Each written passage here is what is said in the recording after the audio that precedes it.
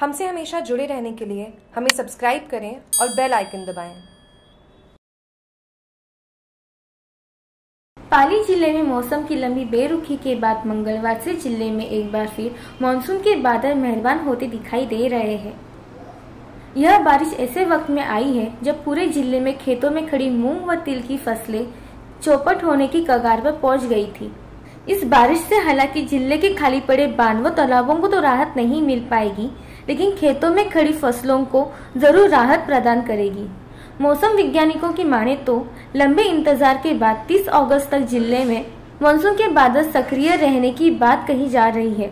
और अगर यह बादल दावों के मुताबिक जमकर बरसते हैं तो ज़िले के जवाई बाँध सहित प्रमुख बाँध व तालाबों में भी पानी आने की उम्मीद कायम रह पाएगी।